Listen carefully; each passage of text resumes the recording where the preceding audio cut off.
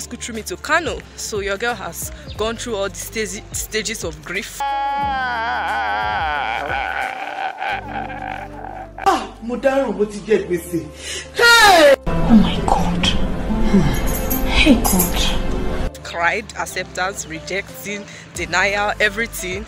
And I'm not yet at accepting it, so but I have to move. So today is Saturday and I'm currently in Delta State, so I'm going to board a train from Delta to Abuja and then from Abuja to Kano. So yeah guys, I'm going to vlog and take you guys with me on my journey to the Nigerian Law School Kano Bagauda campus.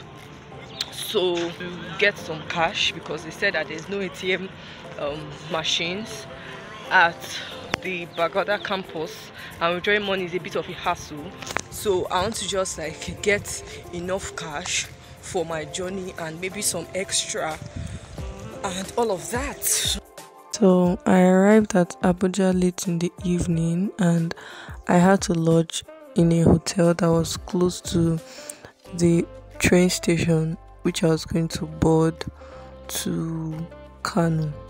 My journey i realized that i'd not even gotten to kano but my cash was already like half gone.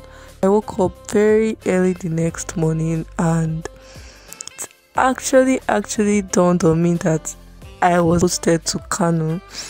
I went to the train station, I boarded and then we got to Kaduna and then from Kaduna we had to take a car to the Bagauda campus.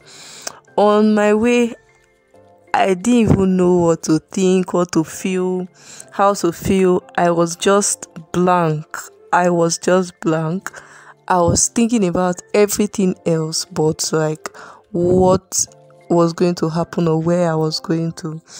The emotion starts coming back when I saw the signboard Nigerian Law School Kano campus.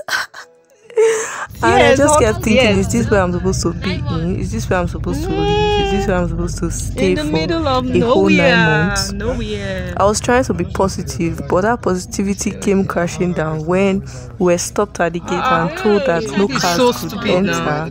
So we had to pay um, trucks, like wheel trucks, to take our luggage into the campus.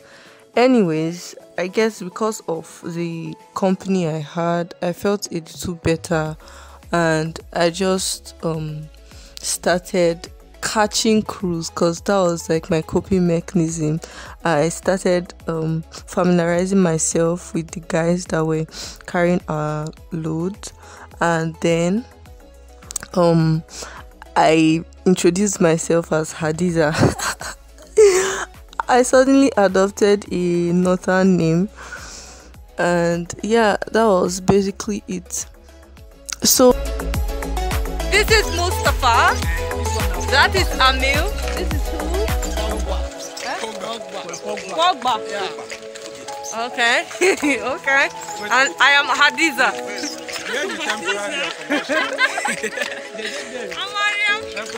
I am Hadiza. This is my friend Mustafa. This is Amil and this is Boba. Yeah, there are a lot of things that I was told about the Kano campus Bagauda before coming that upon arrival here I found out not to be true. And then there were some things that I was told about the campus that on arrival here it was extremely true. Um one of it would be like the cold weather. The weather it's is cold so cold, like freezing cold. So the next day, after um, after registration, I went to Mami Market to like find something to eat. So that whole plate of food cost 500 naira with a Maggi cubed meat.